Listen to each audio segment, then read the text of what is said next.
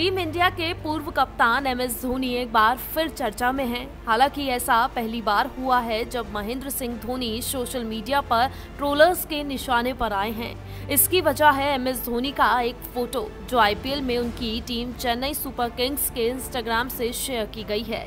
वैसे तो धोनी को लोग काफ़ी पसंद करते हैं और उनके लिए दीवाने रहते हैं।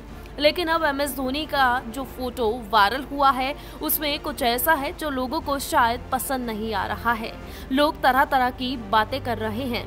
हालाँकि जो फ़ोटो वायरल हुआ है, वो ना तो धोनी ने खुद शेयर किया है और ना ही उनकी पत्नी साक्षी ने। इसके बाद भी फ़ोटो तेज़ी के साथ वायरल हो गई है। दरअसल, एम एस धोनी इस समय अपने परिवार के साथ हिमाचल प्रदेश की वादियों में सैर कर रहे हैं।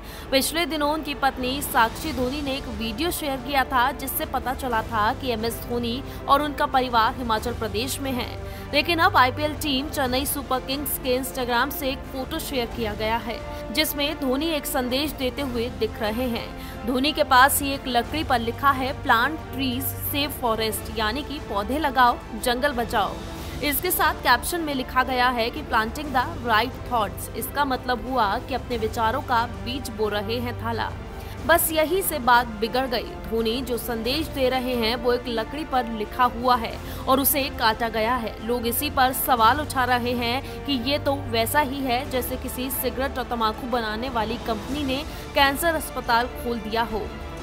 हालाँकि कहा यह भी जा रहा है कि ये लकड़ी मिलों की ओर से कचरे के रूप में फेंकी गई है। इसे बेकार लकड़ी कहा जाता है। बताया जाता है कि ये लकड़ी आमतौर पर हिमाचल प्रदेश में सर्दियों में अलाव के रूप में इस्तेमाल की जाती है। एम एस धोनी ने इंटरनेशनल क्रिकेट से पिछले साल 15 अगस्त को संन्यास का ऐलान कर दिया था। हालाँकि अब धोनी आईपीएल में खेल रहे हैं। आईपीएल 2021 में जितने भी मैच हुए, उसमें धोनी की टीम चेन्नई सुपर किंग्स ने अच्छा प्रदर्शन भी किया। उम्मीद है कि जब सितंबर, अक्टूबर में दोबारा से आईपीएल के बचे हुए मैच यूएई में होंगे तो धोनी की टीम सीएसके प्लेऑफ के लिए क्वालिफाई भी कर जाएगी। Bureau report, news wall India.